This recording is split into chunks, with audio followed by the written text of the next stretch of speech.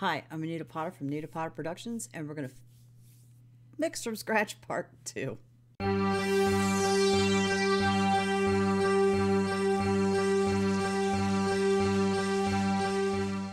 was going to call it Fix This Mix, but we're not really fixing the previous horrible, oh my god, what was I thinking mix. We started over from scratch. So, anyway, if you'd pretty please like, share, and subscribe, join the Discord, follow me on social media, that'd be great. Not forcing you, not twisting your arm. Do it if you want. Anyway, we're going to start with the drums. So, what I normally do is when I get a track that has samples with it, I go ahead and I just mute them. But first, before I get in with that, all these tracks that I'm not going to use, I need to um, take care of. So down here, I'm going to double click and then I'm going to drag this over. And I went and searched earlier to see if there was a way to turn this into a folder track down here in the mixer panel. And uh, no. So I'm just going to click this, tell it to be a folder. And seeing as there's nothing in the back, I'm going to go ahead and just mute that and just I could I could have just left those muted, but anyway, we'll just unmute those because they're already muted in the folder. I'm gonna close this and I'm gonna go up to View, Track Manager, and what I'm gonna do is I'm gonna hide it down here. What is this? Oh, that's new. I, that wasn't there before. Yeah, nice. Sweet. That I've been wanting that. These um little collapsible folder in the track manager was not there before, so that's awesome. So, because usually I would have to do it to each and every track that's in the folder to get it away, to get it to hide, and then hide the folder. Now I don't have to. I can just hide the whole damn folder and it hides everything in it. So that's awesome. Anyway. Did not know. I didn't know. Now I do, and now now you do too. It's late. Anyway, let me scroll back up here to the drums. And I'm going to go ahead and mute all the drum samples. Do do, I can find them all. Wait, was there no snare samples? Let me see. Oh, there was one snare sample and a reverse snare. Okay, so there was a kick and a snare sample. And I guess that was um it. All right, so I'm just going to open this down here. All right, so I'm going to solo uh, the drums. And I don't know how loud this is going to be because I turned everything back up. So rewind, and we're going to... Where do the drums start? way over here. Didn't I? I thought I fixed that. All right, let's press play.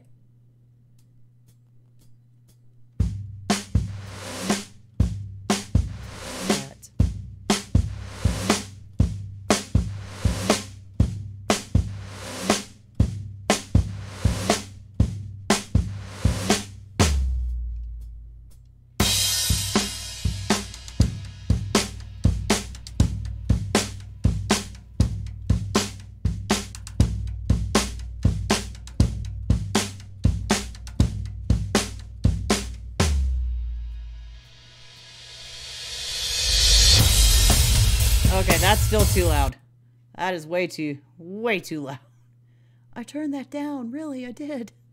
Uh, so is it just this explosion track right here? I think. Yeah. Yeah, I turned that way down. See. All right, so let me uh, turn this down there too. Um, sneak up on it again.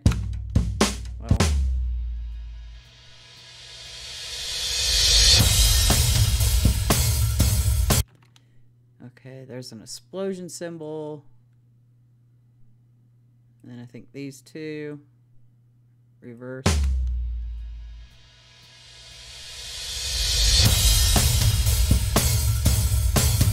Yeah.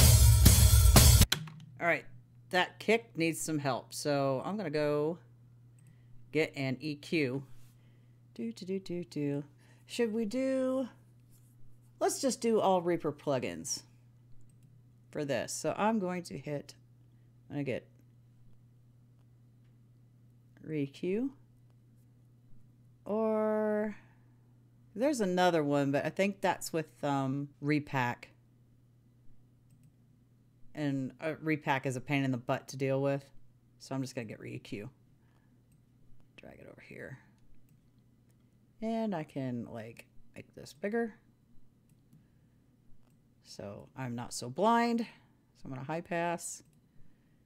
Not that frequency. Go 20. And then there's some kind of like boominess with it. So let's see here. Let me just listen to it. Two.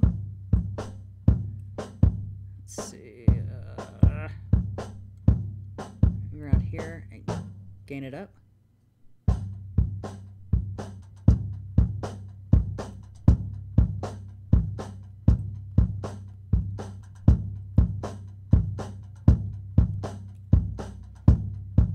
right, I'm going to try a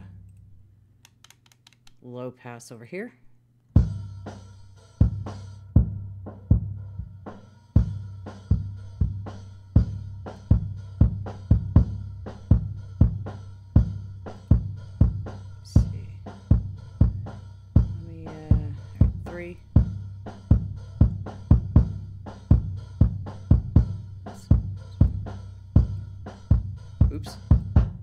That's too much.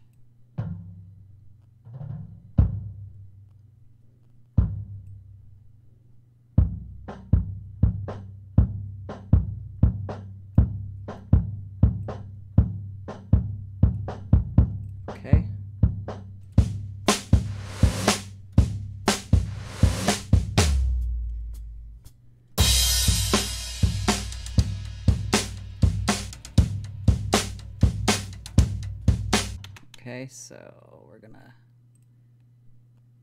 get EQ for the snare top. I wish it would remember how big I would like to have my plugins. Thank you so much. That would be lovely. I'll hit the reverse snare in a little bit. So I'm gonna solo this real quick. High pass.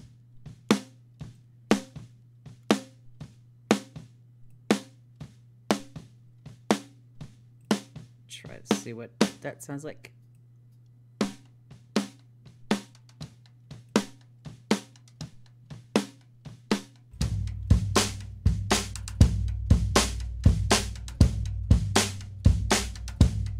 Kick still sounds a little ringy. So, snare bottom. Listen to that real quick.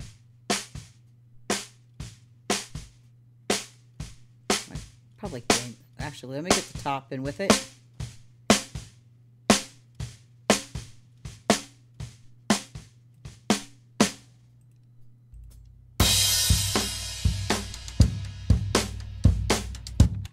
Okay, so I'm just going to drag that one down with it, but I'm going to like disable that one and listen to them together. Me see if it sounds different with it enabled. Okay, I'll leave that then.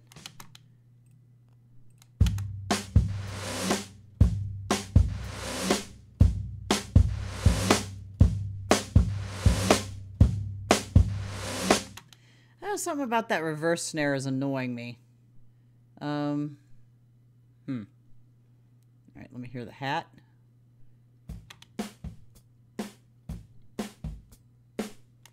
Okay, I definitely need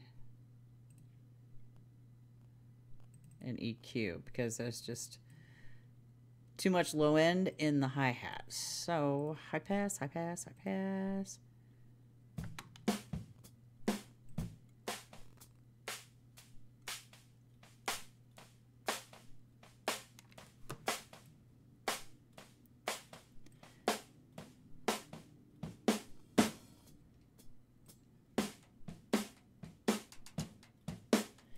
Doesn't like there's a lot of hi-hat in that hat track. I could hear little bits, but not a lot.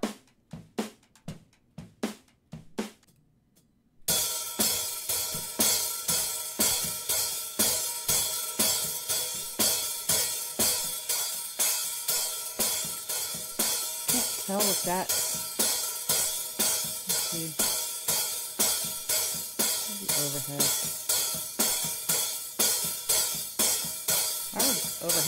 Far away.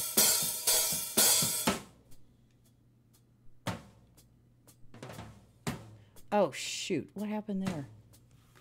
Hang on. So what all I wanted to do was to drag the overheads up. I did not want to make a folder out of the hat track.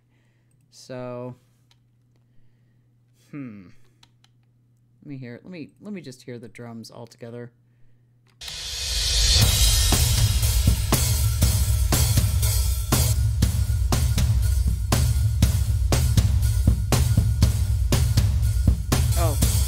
Funny. The hats are on the other side.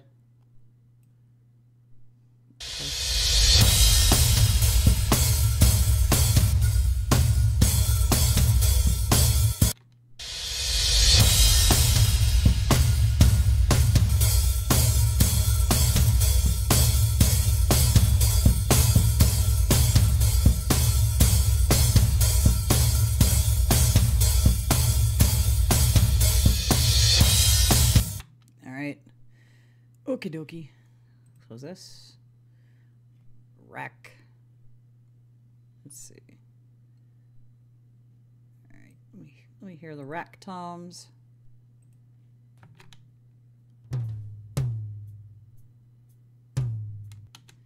Okay. Let me um. Let me hear these over here.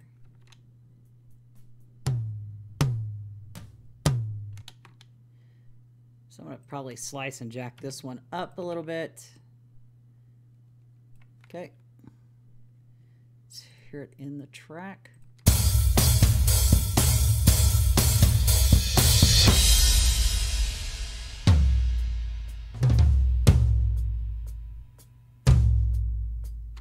Okay. So, again, re-EQ. Do, do, do. I wish I could save this as default size. If I could get it to, there we go. All right, so I'm gonna high pass. Let's see what it sounds like. I'm gonna drag a selection box and I'm gonna have it repeat over here. That way I can hear it and make adjustments.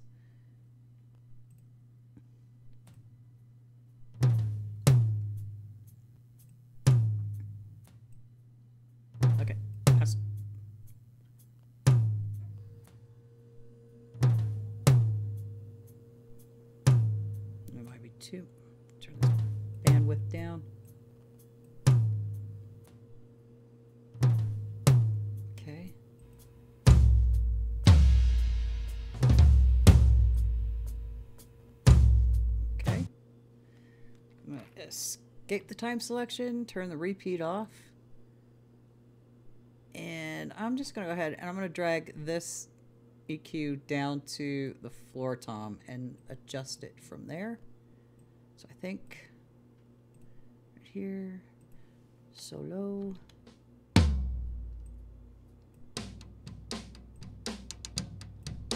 Hang on. There we go.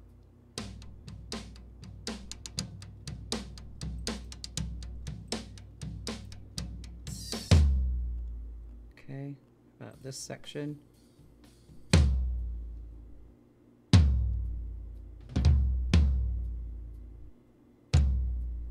All right.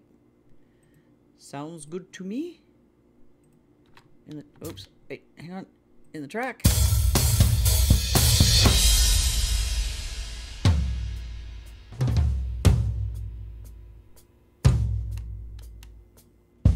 Okay.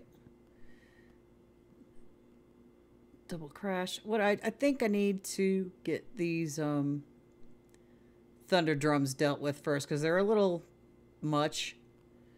So I'm gonna go ahead and just go ahead and add my EQ somewhere. Oh, if I didn't have to drag out to make it bigger, that'd be great. All right, so where are the thunder drums? Where do they start? Right here, solo. That is a bit much. Hi, guys.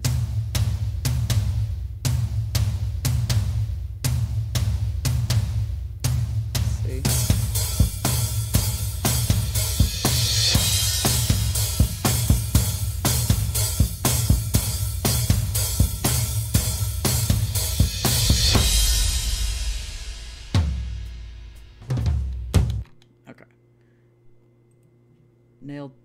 One, I believe. Let's see, where were we? We were at the crashes.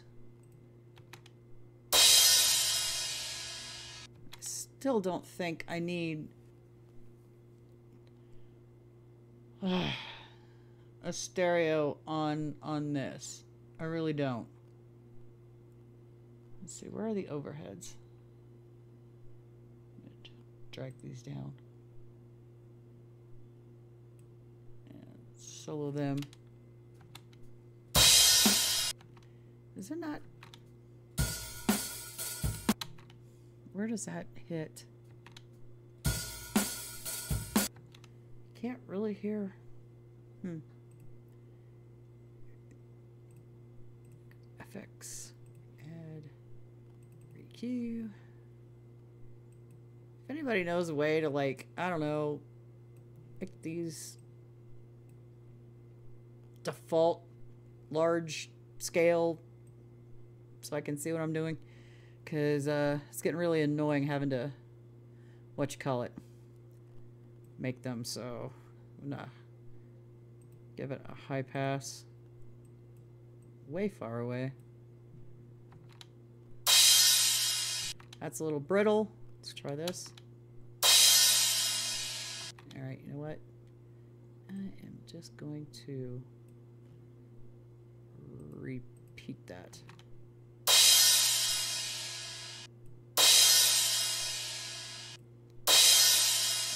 Shelf.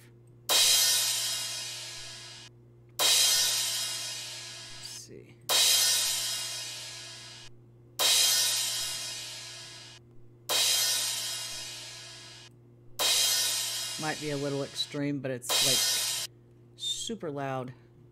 Turn it down too. Think I will. A little bit. Still think that stinking explosion down here is too much. Let's go ahead and do the overheads. Q, because I want to get through like the drums right off the bat, and then um, I won't make um, I won't make decisions on the samples until um, I'm further in when I start doing um, like the the bass guitar and vocals and all that, the synthesizers and all that stuff. So high pass somewhere. Why would I need an all pass? I don't even know what that is. so, overheads, because we don't really need to hear the kick in the overheads. Okay, I'm still on repeat. That's not what I want.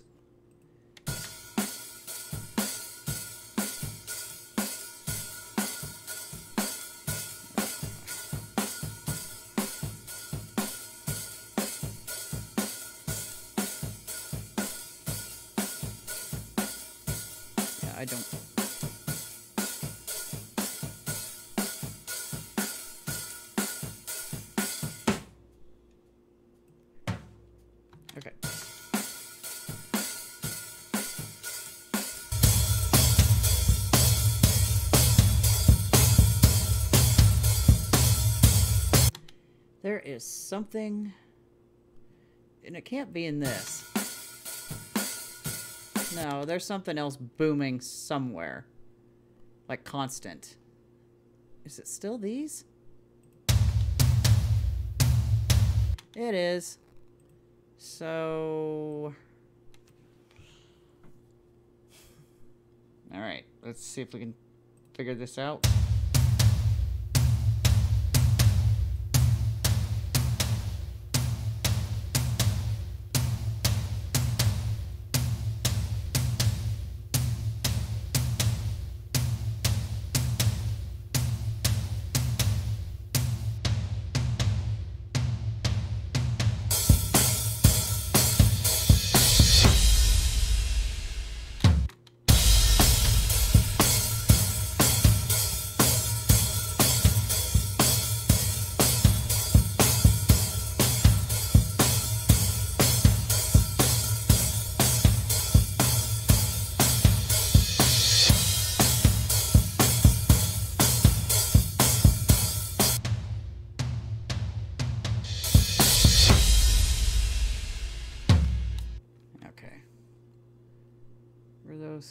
Thunder drums.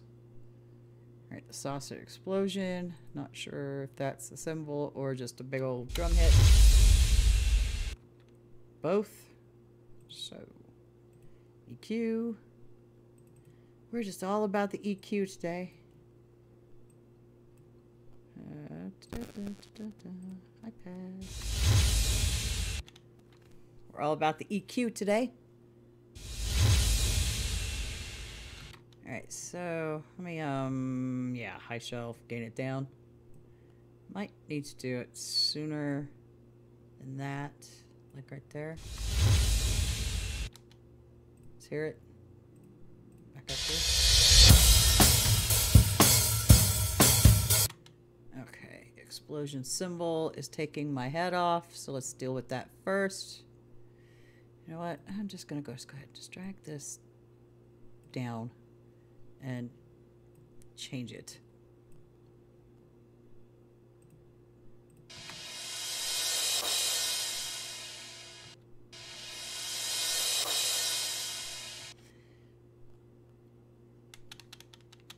I might have to change that one because let me hear it in the track.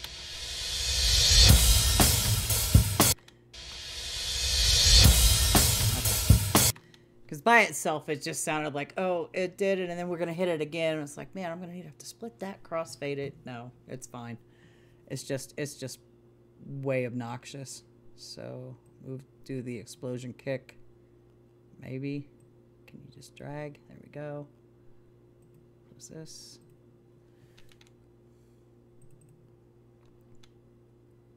Listen.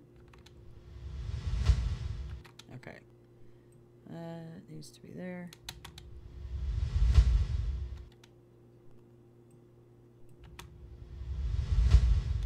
Okay, that's not where I want it. Frequency needs to be somewhere over here, maybe? Or over here. There we go. Maybe it's a little too wide.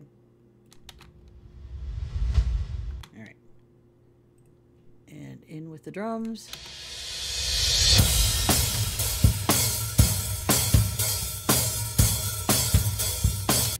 Okay, let's these are reverse cymbals. So let's see.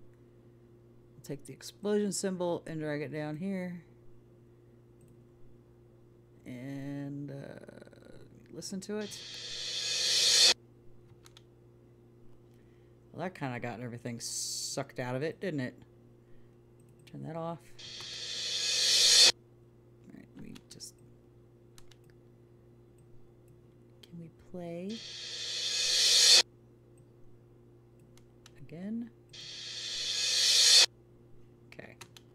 So I don't need all that low-end information in it.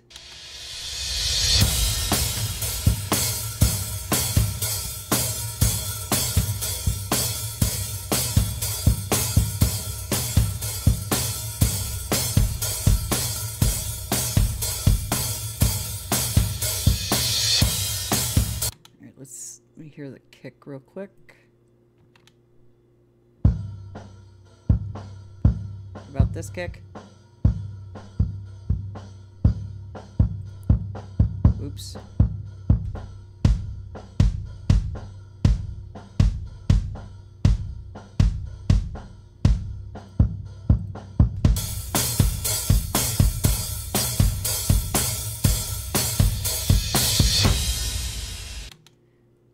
Think I might leave that kick sample in. I know I, what I said earlier, but the kick sounded kind of just bleh.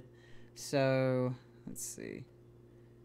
Let me unmute the snare sample real quick too.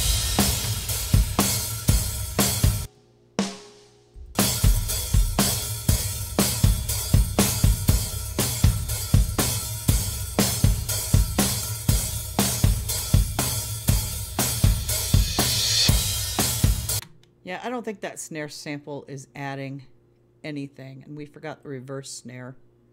Is that the only time? There's only a few bits where it plays. Let's see. Yeah, I don't think that has any kind of, or at least it shouldn't, Let me use preset, reset. I don't think it has any low end. Well, maybe a little bit. Pass. There we go. That'll work. And I think... Yeah, I don't really need to EQ the the samples because they're usually pretty well much EQ'd when they're done. So I think we're finished with the drums for right now. Yep. And then next time we will go and work on the bass guitar and get the bass and kick to play nice together. Wouldn't that be awesome? Get the rhythm section going. Anyway, how do you deal with your drums? How do you start? Do you do get the drums going? Get you get the get the rhythm going first before you do anything else? Let me know in the comment section below and I'll see you in the next video. Bye-bye for now.